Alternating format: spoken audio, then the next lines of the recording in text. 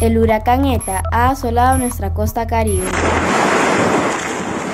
A raíz del paso del huracán ETA en la costa caribe de Nicaragua, desde la oficina de enlace en Managua y los diferentes recintos de esa institución han dispuesto sus instalaciones para recepcionar víveres, medicamentos y cualquier ayuda que sirva para minimizar los estragos que ha causado este desastre natural a las familias caribeñas. Esto ha sido ya coordinado con el Consejo Nacional de Universidades que han estado sumamente pendientes de nosotros durante todo el proceso y también por los sindicatos de los gremios del Consejo Nacional de Universidades.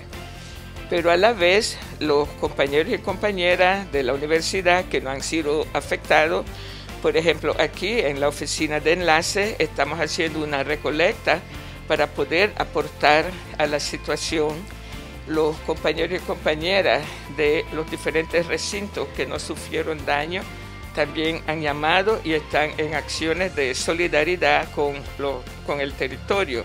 Dicha iniciativa se ha coordinado con las diferentes autoridades como el SINAPREP, gobiernos regionales, alcaldías municipales, iglesias y sociedad civil. Hemos hecho una recolecta, seguimos, ¿verdad? Los invitamos a que traigan víveres, eh, ropa, medicamentos. Todo lo que ustedes entreguen va, a sumar, ¿verdad?, para este apoyo a estas personas.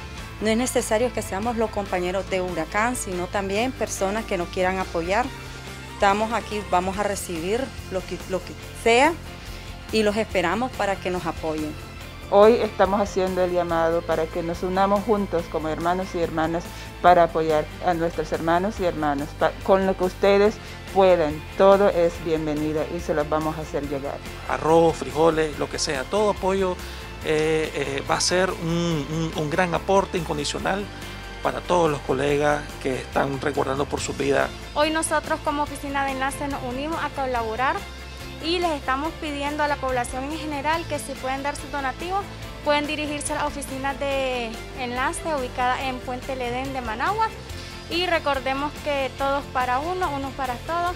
Hoy somos por nuestro pueblo costeño, mañana puede ser por otra zona del país. Instamos a los compañeros a que continúen aportando con lo que puedan para los compañeros y compañeras del recinto de Bilby, que son los que recibieron, que tuvieron mayor daño a sus casas y también el recinto.